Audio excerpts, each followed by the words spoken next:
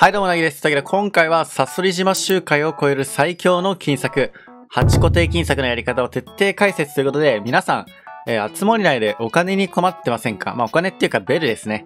ベルに困ってる方結構多いと思うんですけど、今回はそんな集まりでベルに困っているという方向けに、便利で楽な8金策のやり方っていうのをね、皆さんに解説していきたいと思います。今回の動画をね、最後まで見ていただければ、いつでも手軽にベルが稼げるようになるので、ぜひね、最後まで見ていってください。このチャンネルではこういったつもりで役に立つ情報だったり、検証なんかをね、中心に動画を出していっているので、いち早くあつ森の情報を知りたいっていう方は、ぜひチャンネル登録の方もよろしくお願いします。それでは早速、今回の8金作やっていきましょう。ではまずはね、えー、詳しい解説していく前に、実際に8金作の流れをね、えー、やっていきましょう。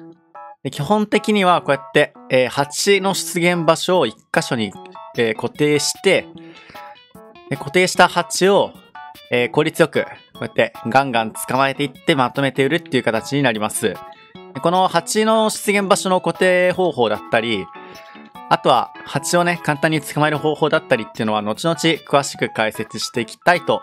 思います。さあ、とりあえずじゃあ5匹全部捕まえていきましょう。一応ね、1日に出る蜂の出現数っていうのは5匹になっているので、5匹捕まえ終わったら、え、その日は蜂は出てこなくなります。まあ、なので5匹の蜂を捕まえ終わったらこうやって蜂の巣を回収して、え、次の日に日付変更していきましょう。まあ、基本的には、えっ、と、5匹の蜂を捕まえて、日付変更するっていうのをね、繰り返していくっていう形になります。さあ、それでは、まずは蜂を絶対に捕まえる方法ですね。蜂を確実に捕まえる方法なんですが、こ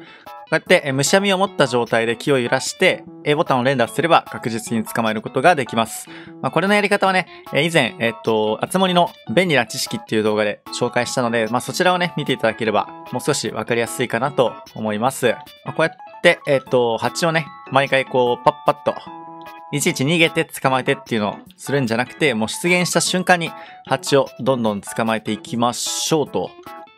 さあ、これで4匹ですね。じゃあラスト5匹目も捕まえていきましょう。で次の5匹の時に、えー、っと、次は、えー、蜂の出現場所の固定化ですね。そちらもやっていきましょう。さあ、それでは、蜂の出現場所の固定化の方法についてですね。まあ、こちらのやり方は至ってシンプルで、島に生えている木を5本だけにする。これだけですね。まあ、ただし、えっと、残した5本の木は揺らして、一度揺らしてあげて、家具とかベルとかを一度落としておかないと、蜂がね、そこから、え出てくることがないので、まあ、一度ね、す、えー、べ、ての木を揺らした状態で、芝に残っている木を5本だけにしてあげましょう。まあ、一番簡単な方法っていうのは、一度すべての木を抜いてしまったり、あの、切り落としてしまったりして、たぬき商店で木の苗を5つ購入して、後からね、えー、新しく植えてあげると確実に蜂がそこから出てくるようになります。ただし、この蜂の固定化っていうのは7本以上、えー、木を増やしてしまうと、固定化がね、崩れてしまうので、その点だけね、注意しておいてあげましょう。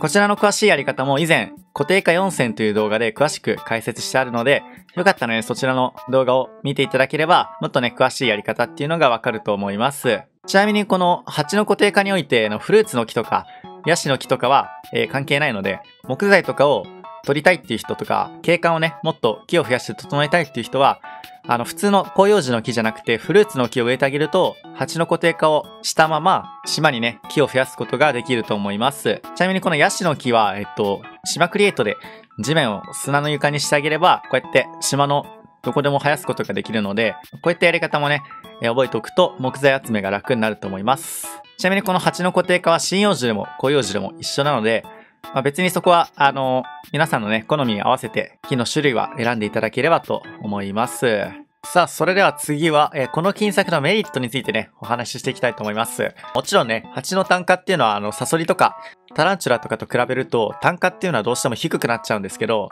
まあ、単価が低いにもかかわらず、この蜂の金策がタランチュラとか、サソリとかよりも稼げるね、大きなメリットっていうのがいくつかあるので、そちらもね、詳しく解説していきたいと思います。まずメリットの一つ目は、一度ね、この蜂の固定化の準備をしてしまえば、いつでもこの金策、蜂金策ができるということです。蜂の出現っていうのは、24時間365日出現します。まあ、なので、いつ何時でも、朝でも夜でも秋でも春でも夏でも冬でも蜂っていうのは出現するので、まあ、時期にとらわれずいつでも金策をすることができます。いや、もちろんさっきも言ったんですけど、サソリなんかと比べると、一度の売却価格の単価っていうのはね、サソリとかと比べると少ないんですが、まあ、サソリ島とか作るってなると、いちいち離島に行って、こう木を伐採したり、花を摘んだり、あの、穴を掘ったりとね、いちいちめんどくさい作業がかなり多いんですけど、この鉢の固定化っていうのは一度作ってしまえばもう本当にいつでもできるので、準備にね、時間がほとんどかからないんですよね。まあなんで毎回サソリ島とかタランチュラ島とか、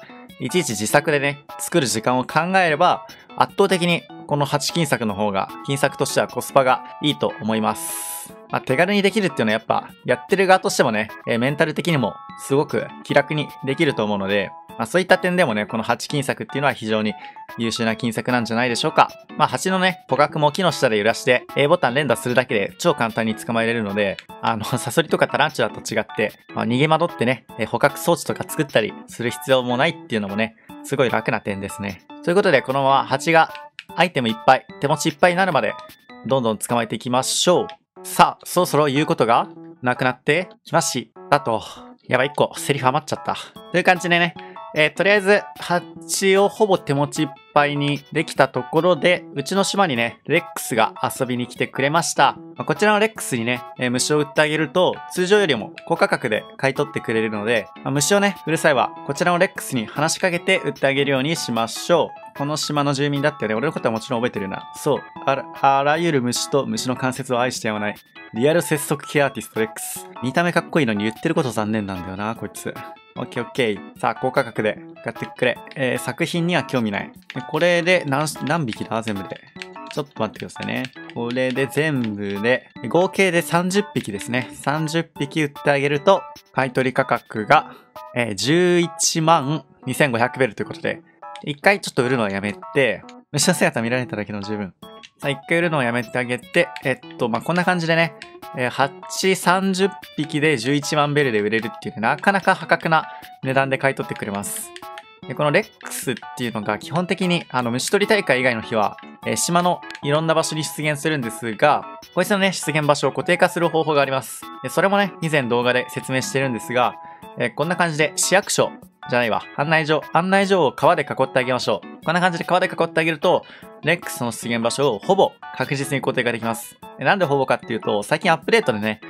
どうやらこのレックスの固定化っていうのがたまになんか抜け出すようになっちゃったので、まあ、絶対にこの案内所に固定化できるってわけじゃないんですが、この案内所をね、川で囲ってあげることで、まあ、レックスのね、探しやすさが本当に段違いに上がるので、ぜひね、この8金策をやる際は、レックスを探しやすくするためにも、8の固定化だけじゃなくて、レックスの出現場所の固定化もね、皆さんやってみてください。この固定化の詳しいやり方も概要欄に貼ってあるイベントキャラ固定化っていう動画があるので、そちらをね、見ていただければ詳しいやり方がわかると思います。でもこれね、8、5匹捕まえるので、だいたい1分から2分ぐらい。まあ、セーブとロードがあるので、まあ3分ぐらいですかね、だいたい。1周3分ぐらいの8金策。で、これで30匹で11万ベルっていうことは、まあ大体長めに見積もっても20分で11万ベルぐらいですね。そう考えるとやっぱめちゃくちゃコスパいい金策になりますよね。というわけで今回は、えー、蜂を使った効率のいい金策方法についてでした。まあ、今回の動画を簡単にまとめると、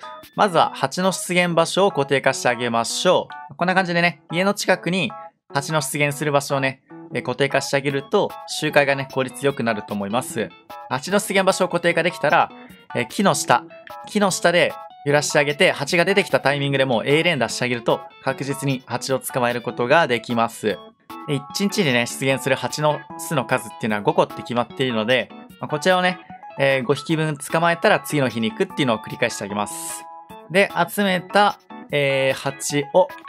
こちらね、レックスに売ってあげると、非常に効率よく金策ができるんじゃないでしょうか。というわけで今回の動画が参考になったって方はぜひ高評価の方よろしくお願いします。またいつもおすすめ欄からこのチャンネルの動画を見てくださってる皆さんは、ぜひチャンネル登録の方もよろしくお願いします。ま